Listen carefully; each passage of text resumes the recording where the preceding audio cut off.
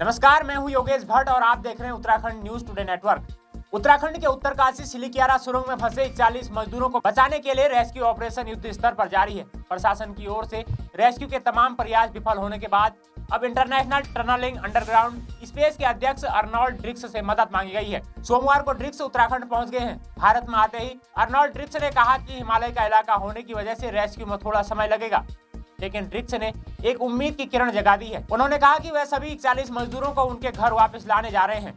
Underground expert Arnold drinks ने भारत आने के बाद सिलिकियारी में मौके का मुआयना कर काम शुरू कर दिया है। इससे पहले ड्रिक्स ने एक चीज़ की जिससे वहाँ के लोगों का दिल जीत लिया। ड्रिक्स ने अपना काम शुरू करने से पहले सुरंग के बाहर स्थित मंदिर के सामने हाथ जोड़े। इसका वीडियो भी सोशल मीडिया पर तेज़ी से वायरल हो रहा है। दरअसल इस हादसे के बाद स्थानीय लोगों ने दावा किया है की सुरंग बनाने के दौरान निर्माण करने वाले लोगों ने सिलिकियारी में एक पुराने मंदिर को हटा दिया था।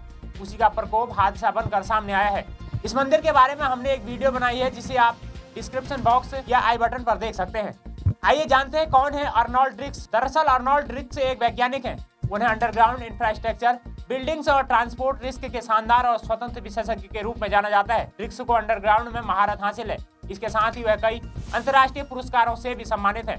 ऑस्ट्रेलिया के रहने वाले अर्नोल्ड ड्रिक्स दुनिया भर के कई परियोजनाओं के लिए विवाद निवारण बोर्ड और टेंडर इवेल्युएशन पैनल पर नियुक्तियाँ करते हैं।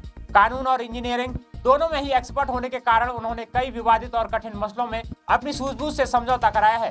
लिहाजा इसी कारण मार्च 2011 में अर्नोल्ड को टनलिंग, सुरंग अग्नि सुरक्षा में शानदार कौशल और दुनिया में अग्नि सुरक्षा में उनके योगदान देने पर ऑस्ट्रेलिया में सुरंग बनाने वाले पेशेवरों के लिए सर्वोच्च सम्मान से नवाजा गया है। अर्नोल्ड को अमेरिका में अग्नि संबंधी मामलों के विशेषज्ञ के रूप में भी जाना जाता है। दोस्तों, नौ दिन से टनल में फंसे मजदूरों को निकालने की कोशिशों को आप कैसे देखते हैं, हमें कॉमेंट्स कर ज़रूर बताए।